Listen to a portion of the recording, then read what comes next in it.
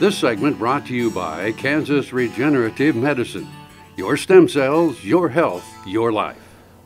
Uh, I'm Brian McCornack from the Department of Entomology at Kansas State University, and uh, today at uh, uh, Corn Schools I'm talking about myfields.info. Uh, this is a project that's been around for about three years.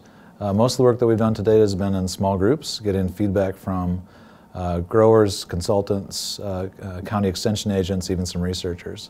Uh, we now have some tools available that uh, let the general public know really what myfields.info is more about.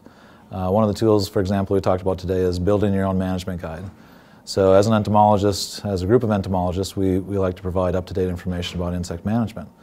So one way we do that is we send a PDF to you that, or you come to a, a, an event like this and get a, a hard copy. And it's a list of all corn pests that are important to Kansas. Uh, what we're trying to um, demonstrate is that maybe not all corn pests are important to you. Not all corn pests are important to your fields.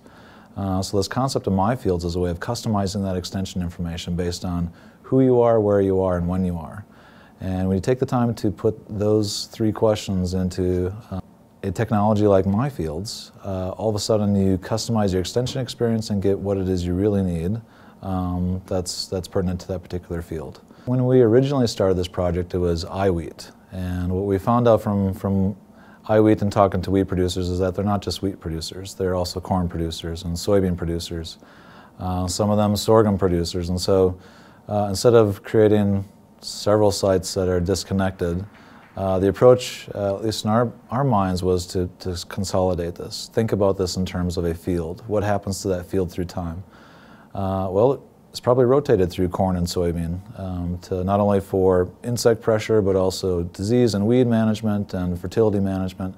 There's a lot of value in, in doing that, but at the same time, uh, we didn't want to stress our, our users by going to multiple sites to do that. So the concept of MyFields um, is really multi-commodity. And uh, some of the bigger tools that are, will be coming up, at least to look for, uh, one of which is, is actually what our stakeholders asked for, is the, is the uh, weed management guide. Uh, and that and that will be available here in the next couple months. But again, same type of customization. You go through and find uh, the product that you really pay attention to, uh, put that into your own management guide, and now you're only managing content for five to six herbicides that are important to you instead of the entire book.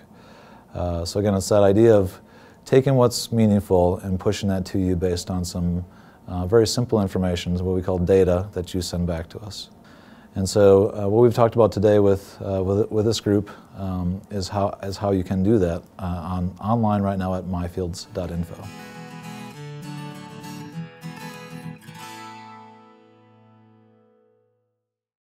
Hello friends, I'm Ernie Rodina. And I'm Don Dawson with the Better Horses Radio Show. For over nine years, we've been bringing the Better Horses Radio Show to markets all across the Midwest. We talk about God, lots about horses. We talk about cows, we talk about horse health, we talk to top trainers, and we even talk about Roy Rogers. We're having a blast with Better Horses Radio Show and would love to take it to a market near you. So visit our website at betterhorsesradio.com and let us or your local radio station know you'd like to hear it in your area. The Better Horses Radio Show is unbelievable.